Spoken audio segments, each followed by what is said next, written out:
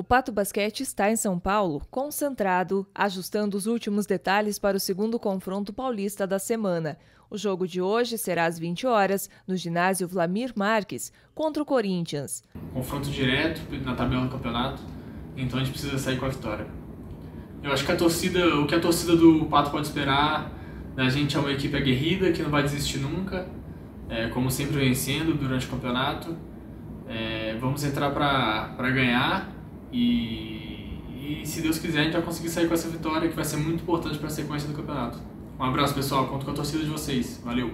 Hoje, o Pato é o 11 colocado com 24 pontos.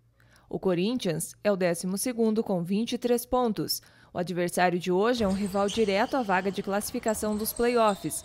A vitória é importante. Se o Corinthians vencer, ultrapassa o Pato nos critérios de desempate. Seguindo o campeonato, o Pato volta a jogar em casa no ginásio do SESI às 19 horas no dia 3 de fevereiro. Recebe o Flamengo. Os ingressos estão à venda. Informações nas mídias sociais do time e com a equipe da Única Resultados pelo telefone 46 9972 2226.